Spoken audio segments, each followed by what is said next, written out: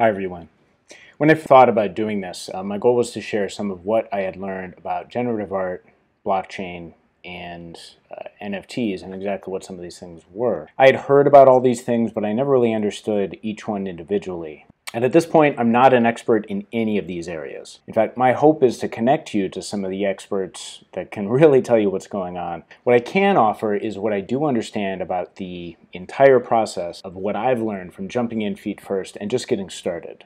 And so my hope is to guide you on how to get started by by giving you some of the some of the first steps to take. So get you started with a crypto wallet, send you an NFT, and understand some of the ideas of the blockchain in a very practical way. Today I'll also share some about generative art and what exactly makes it so special in the context of the special NFT that uh, I've sent a number of you. You've all hopefully made it to this website here. This is the Kukai wallet. You can access it at this URL. Uh, your wallet is essentially your login for everything that is blockchain. And so pairing your wallet is the essential first step for any site that you want to use on the on the blockchain. And so this is why it's so important not to lose access to your wallet because if you can't get into your wallet, if you lose your login to the wallet, you're obviously not going to get anything that's in that wallet back ever again. There's no recovery because it's it's all built into the system. I've asked you to send me your wallet address. Now you can get that wallet address uh, up here. You can hit copy and it'll copy it to the clipboard, you can see it's this uh, long string of letters there. And this is not private. This is actually what you use, what you need to give somebody if you want someone to send you an NFT or uh, send you funds. Like this wallet address is the key to all of that. So when I ask you to send that to me, it's not like some secret. You're sending me that address so that we can interact with each other on the blockchain. Now, for those of you who have sent me your wallet address already, these are the next steps. So I get your wallet address, and this is my, my generative art front page, and I hit this button to mint an iteration of my program. Okay, so i am going to try that again. So I'll hit this button. Okay, and so now that I have uh, initiated a contract call, I have to go to my wallet and I have to approve this operation, confirm that I really want this to happen. So uh, I go over here, I confirm that. I have to log into my Google account every time there's a transaction that just makes sure that I really mean it.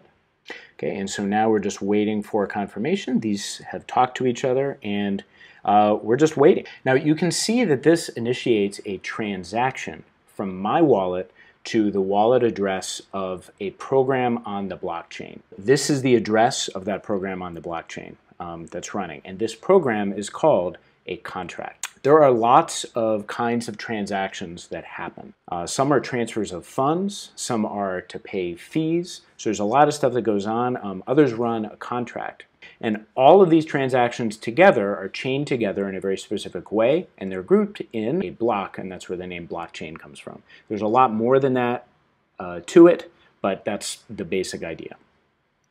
And so this contract runs a program that I wrote to generate, uh, generate that art, and it creates a token that represents that art. And so that, that token is now right here in my wallet. Um, but I now have this token. And so what I can now do is I can send this token, which represents the result of running that program on the blockchain, I can send that to another wallet address. So I'm going to click here, and I'm going to send this to another address. I'm going to send one token because there is only one token that I generated. I'm going to paste that in.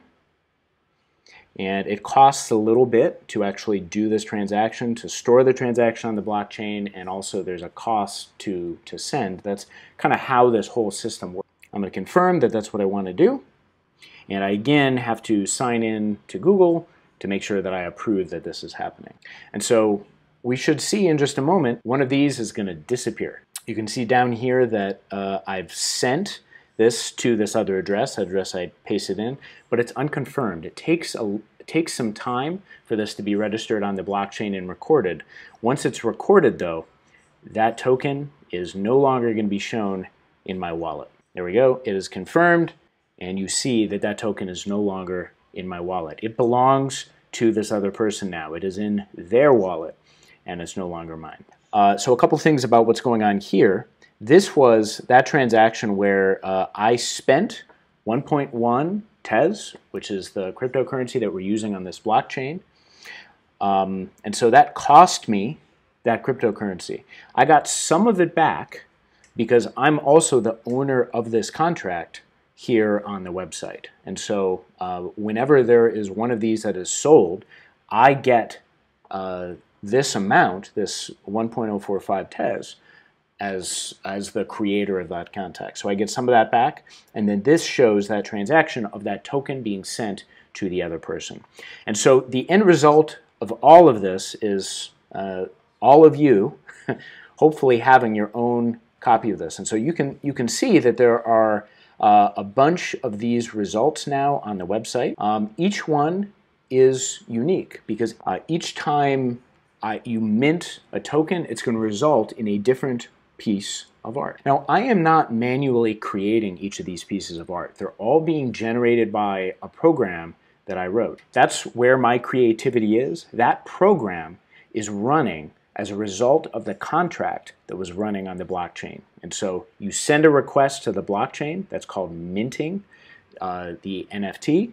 Uh, it runs a program and generates the, the, result of that program, essentially represented by the token that's in your wallet. And then that can be sent to another person, it can be traded. That's the way that it works. Uh, if you do the math, there are 2 to the power of 315 ways that the blocks in each tower can actually be arranged in the stack. Uh, they are either there or they're not. And in my program, I randomly determine whether a block is going to be in the stack or not, and it actually decreases in probability as you go up, which is why most of these have pretty solid bases down here, but as you go up, it starts to uh, get a bit sparse in terms of the blocks that are on the stack. So 2 to the 315 ways the blocks can be in there.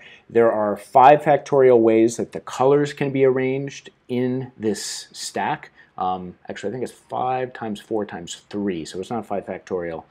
Uh, that's a lot. And so if you multiply those together, it's an absurd number of ways uh, that you can generate this art. And it is exceedingly unlikely that this exact piece of art, or this one, or this one, or this one, will ever be randomly generated again. Even though my program can be run many, many times, it's so unlikely that this is ever going to happen again. What's unique about this website, um, when you load your individual NFT, the same program that generated the NFT in the first place runs, and it uses a special seed value that is, uh, seed value is used in the random number generation step, and that seed is generated from the location on the blockchain. And so every time the program runs off the blockchain, with that information, it will make the exact same art.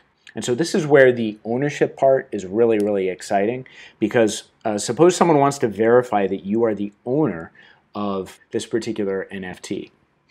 All they have to do is they have to trace your wallet address, run the program by loading the page, and see that you get the same result.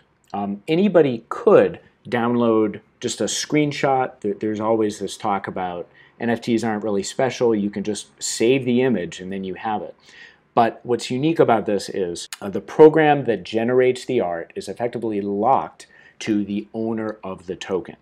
And so whoever owns the token holds the key to generating that art the same way every single time. And it's really special. I'm going to leave that there for now. Um, if you haven't sent me your wallet address, please do. If you're, if you're in our program, I'll send you, uh, send you your own version of the, the Tower Stack. If you're just watching for fun and want to contribute to this project, go ahead and uh, mint your own iteration of the project and that'll help me support other uh, educators and, and down the line, hopefully students who want to be part of this project. Have fun. Thanks for watching.